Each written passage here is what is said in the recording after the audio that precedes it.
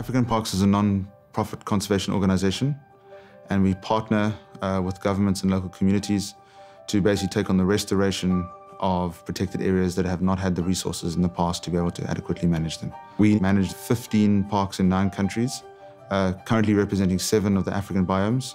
Garamba is one of our larger operations in the African Parks portfolio.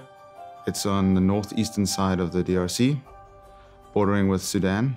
Due to the conflict in the area, we now work in a place where, where large groups of rebels enter the park, and obviously high-value species like elephant are a source of income for them and they might be persecuted. So that's the, our job is to make sure that in this area we can try and keep it free of, of these groups of rebels that move through and, and are likely to poach elephant.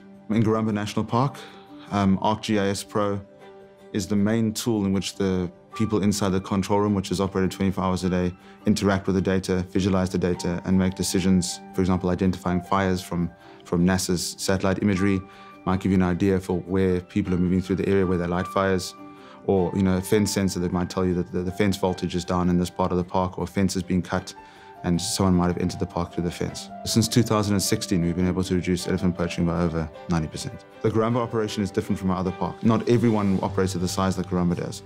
So we have a different suite of software in all different parks. And through these customizable, you know, easy to understand apps and solutions that Esri's provided us, we can really deploy the technology across the portfolio and customize it very quickly and make sure we have exactly the right tools in, in all the parks to really run each park as its own sort of entity equipped with its own tools to do the best possible job in that unique environment with the pressures that they face.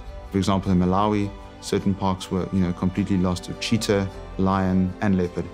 And it's up to us to now provide that space for that the animals can live safely and there's enough resources and food for them to live in. And it's up to us to reintroduce those animals, sometimes from quite far afield. We track our own assets to develop a picture for what's going on inside the park, and then that allows us to effectively command the domain. Our role is to make sure we can adequately protect these areas to make sure that in 100, 200 years' time, you know, there are all these beautiful and intact African landscapes.